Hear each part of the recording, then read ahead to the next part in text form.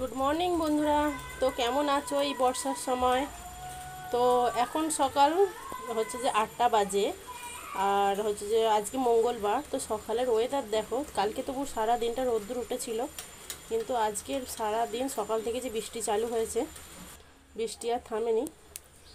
দেখো আমার মিনি এই মানে তুমি কি বলব, যতই আমার ঘরে জায়গা থাক, আর ওইখানটাতেই ও হচ্ছে যে থাকবে।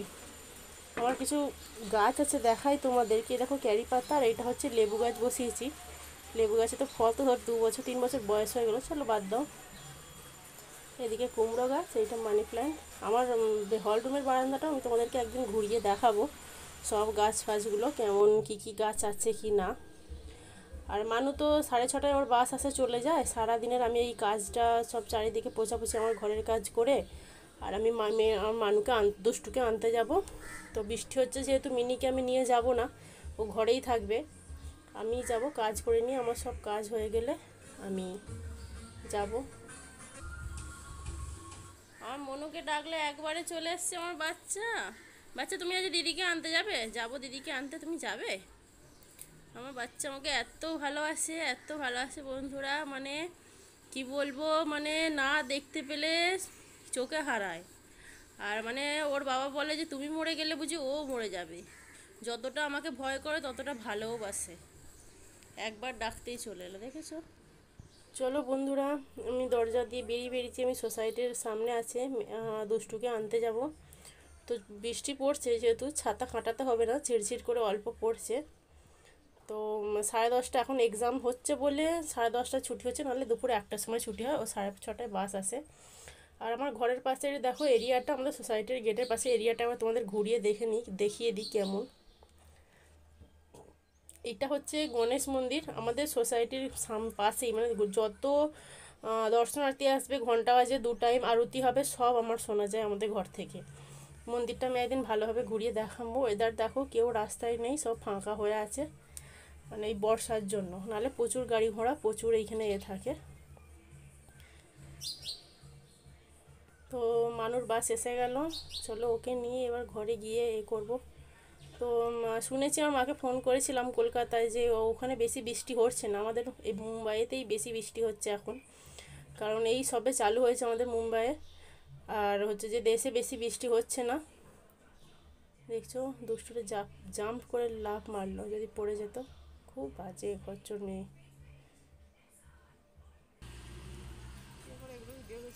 চলো এবার ওর তো কিছু এই বাপি!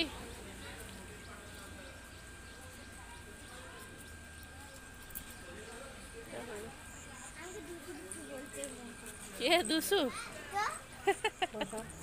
ও বলতে পারে না দেড় বছরের না ছোট বাচ্চা। ওই জন্য। একসঙ্গেই ওদের স্কুল আলাদা আলাদা। দেখছ মিনি আমার জন্য অপেক্ষা করছে ওকে ঘরে রেখে গিয়েছিলাম কি না অপেক্ষা করছে, দেখো দুষ্টুকে দেখে কেমন অনেকক্ষণ দেখে দেখেনে, দিদিকে দেখে যেন খুব পেয়ার হচ্ছে। খুব পেয়ার হচ্ছে একদম, দেখছ? আর আমাকে, আমার কোলে উঠে বলেও অমন করছে। খরচর একদম মানে মা ভক্ত একদম হনুমান বলে না, মা ভক্ত প্রাণ ওর। যতই ওর পাপা আর দিদি, যতই আদর করুক, ওর মায়ের কাছে একবার আসা চাই। চলো বিকেল হয়ে গেছে বন্ধুরা আমি এটাকে সাড়ে ছটা, সাড়ে পাঁচটা বাজে। তবু ডেকে ডেকে ও এখনও ওঠেনি তুলবো।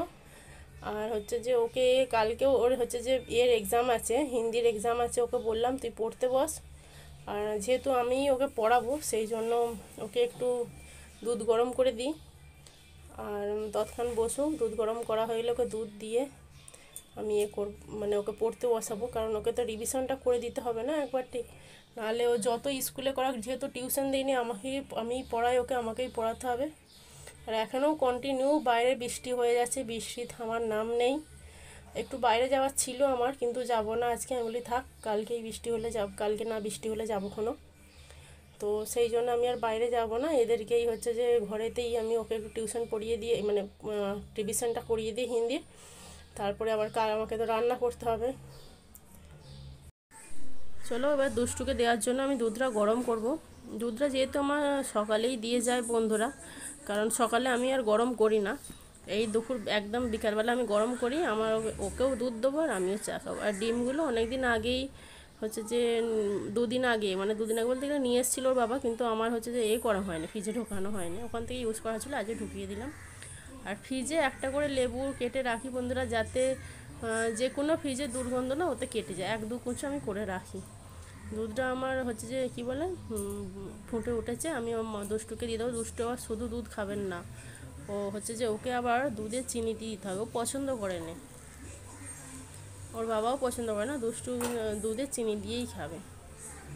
আর হচ্ছে যে, আজকে রান্না করব দেখি রাত্রিবেলা হচ্ছে হচ্ছে যে, কী বলে কি ভোলা বলে, ভেটকি ভোলা মাছ নিয়ে এসেছিলাম। সেই ভেটকি ভোলা মাছের ঝাল করব, আর ডাল করব, আর করলা আলু ভাজা হবে আজকে। দেখো আর আমার মেয়ের দেখো যতই জায়গা থাকুক, দুষ্টুর ওই ওইখানে একটু ওদের আলাদা ঘর চাই, আর যেই ওর দিদি ঘর করব ওইখানে। তো ওকে যেহেতু আমি একটু রিভিশন করাতে বসবো, তো আজকে এখানে ব্লগটা শেষ করি। বন্ধুরা, তো থ্যাংক ইউ দেখার জন্য। আর আমি একটু চা করে নিয়ে যাই, আমার আবার আদা চা ভালো লাগে না আর হচ্ছে যে চাটা আমি শুধু চিনি আর চা দিয়ে। এলাচ সবু পছন্দ কিন্তু আলাদা কী বলে আদা দিয়ে একদমই পছন্দ না। চলো বাই বন্ধুরা। থ্যাংক ইউ ভিডিওটাকে লাইক আর চ্যানেলটাকে সাবস্ক্রাইব করে দিও। Bye thank you